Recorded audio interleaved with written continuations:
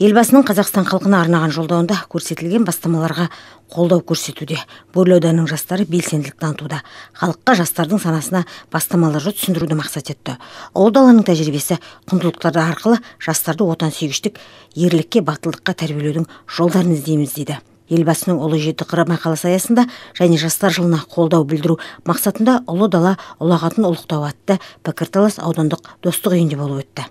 Бүгінгі шарамыздың мақсаты тұңғыш президентіміз нұрсұлтан әбішұлы назарбаевтың ұлы даланың жеті қыры атты мақаласына қолдау көрсету және де осы халыққа соның ішінде жастарға жеткізу түсіндіру және жастарымызды отансүйгіштікке еңбексүйгіштікке және де ұлтжандылыққа тәрбиелеу болып табылады. Бүгінгі шарамыздың мақсаты ұлы даланың жеті қыры мақаласы жастарымыздың ұлттық құндылықтарды насихаттауға көптеген септігін тигізіп жатыр. Қазіргі жастарымызда осы ұлттық құндылықтарды насихаттай отыра бір көптеген шаралар атқарып жатыр. Маңызды құжатта тіл мен дін елдік пен бірлікке қатысты біраз жайттар көтерілген. Бүгінгі жаһандану дәуірінде ұлттық сәйкестікті сақтау өзекті мәселе. Оған тосқауыл болатын күш ол ұлы дала құндылықтарын жаңғыртып дамыту басқосуға жиналған жастар кеңінен талқылады.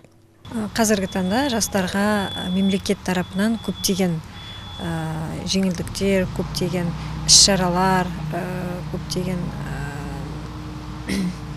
бағдарламалар жасалынып жатыр. Жастардың болашағы зор.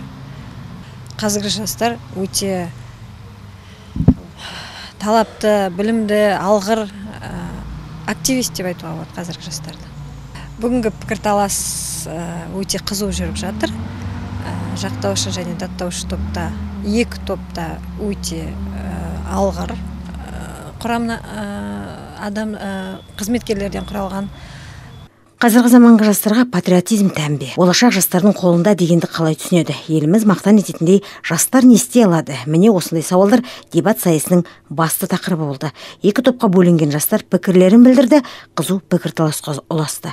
Берілген санаулы уақыт ішінде ой пікірлері шешендік сөзбен нақыл сөздермен жеткізді. Арасында ғұлама адамдардың айтқан пікірлері де дәлелдемелермен нақтыланды. Екі жақ осал жақтарын да атап көрсетті.